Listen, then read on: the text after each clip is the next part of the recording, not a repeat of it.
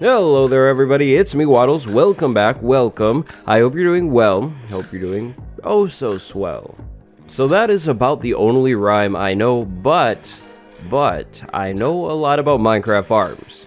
Today's video is called something like 6 must have 1.14 farms. Today we'll be going over 6 farms that you should definitely have in your survival world. Some of these farms are brand new farms that came around with the 1.14 update, and the other farms are older farms that have been revitalized and became more useful with the Minecraft 1.14 update. So as always, smash the like button, drop a sub, ring the bell, and let's get on to our list. So Minecraft 1.14 Village and Pillage. With a title like that, it only makes sense to start with a farm that's directly related to the title. Today's first farm is a villager breeder.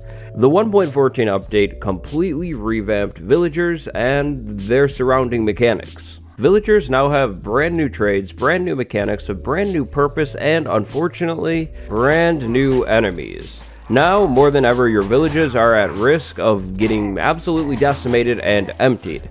And obviously, that's not really a desirable thing. Villager breeders are now easier than ever to build. These things can easily supply you with more than enough villagers to restock your village that has been pillaged, give you a few villagers for a raid farm, enough villagers for an iron farm, enough villagers for a trading hall, so the benefits definitely by far outweigh the cons, or the building materials that you would need to set up one of these. As of Minecraft 1.14, gone are the days of confusing door mechanics, inside and outside mechanics, detector villager mechanics, it's all gone. For a villager breeder in Minecraft 1.14, all you need is villagers, beds, workstations, and food. That sounds like a really short list, but that's actually it. All the more reason to build one of these things. If you want a pillager or a raid farm, first you need villagers. If you want a trading hall, you need villagers. If you'd like an iron farm, first you need villagers. If you're trying to create a village, villagers. I, I think I've said enough here. So farm number one, villager farm or villager breeder. Our next farm can actually be found right over here in my guide world. If you're a fan of the Minecraft guide series, you already probably saw this one coming, but farm number two is a sheep farm. You absolutely should set up a sheep farm in your survival world because, I mean, it's free building blocks, free colorful building blocks. And sheep farms are very easy to set up now too. All you need is a sheep, a dispenser, a tiny bit of redstone, and some shears, and you're pretty much good to go. Wool can be used in a variety of builds, from ships to colorful houses to small town stands, or wool can of course be repurposed into other things like beds for your world and even banners for decorations on your other builds or for markers on your world maps. With how easy these things are to build and with how few materials they require to be built, there is certainly absolutely zero downside of building a sheep farm in your world. So, for the large amount of free blocks, a sheep farm sits at number 2 on our list today.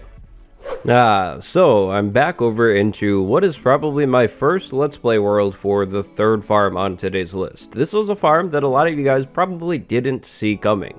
The third must-have 1.14 farm is none other than a spider farm, actually. Now, the spider farm could be a cave spider farm, or it could be a standard spider farm. All that we really need this farm for is the large amount of strings that this farm can supply you with. In Minecraft 1.14, strings can be used to make looms as well as scaffolding. Scaffolding is the big one here. Scaffolding is meant to be a block that assists you when you're building. If you need to tower up, if you need to tower to the left, to the right, well, you can use scaffolding for that. However, scaffolding also makes an amazing decoration piece. I mean, this thing looks like it was meant to be a table. Looms are crafted with two string and are used to customize banners. Now, admittedly, you won't really need a spider farm to create a loom or two, but you will need a spider farm to create plenty of scaffolding if you're trying to use this as building scaffolding. Of course, spider farms will also provide you with spider eyes and experience, which are also both good things to have, so that would be an added extra little benefit of having this farm. So if you're tired of using dirt or cobblestone as your pillaring block when you're trying to build big things, or if you'd like to make lots of looms, then you should probably consider making a spider farm inside of your world. You can do this with a cave spider spawner, a spider spawner, or even just a standard mob farm. And a uh, little shout out to any of you guys who remember this world right here. This was a fun one. And next on our list, we have none other than a bamboo farm at the fourth place on today's list. Bamboo is one of the newest farmable plants in Minecraft. The stuff is pretty easy to farm, both automatically or manually. If you're thinking about something automatic to farm your bamboo, try imagining something similar to a sugarcane farm. If you're going for something manual, all you'll really need is a sword. And that is because swords cut bamboo down like instantly, so uh, yeah, you don't really even need the whole automatic one. Now in crafting, bamboo can be used for one of two things. You can either turn your bamboo into sticks, or, when combined with string, you can craft scaffolding with bamboo. So a bamboo farm would really go hand in hand with a spider farm. I really need to get on a spider farm in my current survival world. Now bamboo can also be used as furnace fuel, which is another great benefit of the stuff. If you decide to go the automatic route and combine your auto bamboo farm with an auto smelter, then you have a truly automatic auto smelter.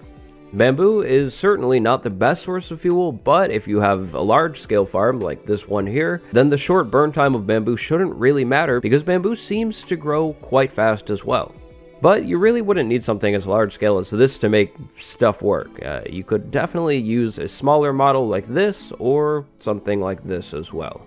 If you're into animal collection, you're going to need some bamboo for your pandas as well, so there's another benefit of having bamboo. And that's not even mentioning the amazing decorational function of bamboo as well. So, uh, spot number 4 on our list today is taken up by a bamboo farm.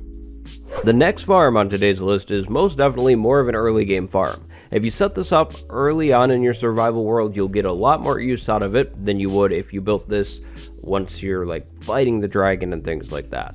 The farm? Well, of course, that's gotta be a sweet berry bush farm. Sweet berries are a new food that was added in the 1.14 update. You can find these things in taiga biomes. The sweet berry is actually pretty common, so it shouldn't be all that hard to find, as long as you can find a taiga biome. Set up something like what I have on screen here, and you're pretty much good to go. No water, no light needed.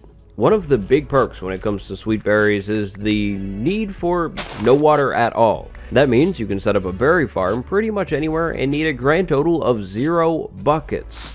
That's really big early on. Sweet berries also seem to grow back faster than wheat, carrots, or potatoes, which is another thing that will make you very happy early on in your world. You really don't want to do too much of anything until you have a consistent food supply in your world, and with the sweet berry farm, you'll have consistent food in no time. If you're in more of a late game position, the sweet berry bushes make an absolutely wonderful looking decorational item. You can have these plants pretty much anywhere and everywhere, and they will add a whole lot of life to your world. Farm number 5, a sweet berry bush farm. And last but not least on our list today is a pretty straightforward one.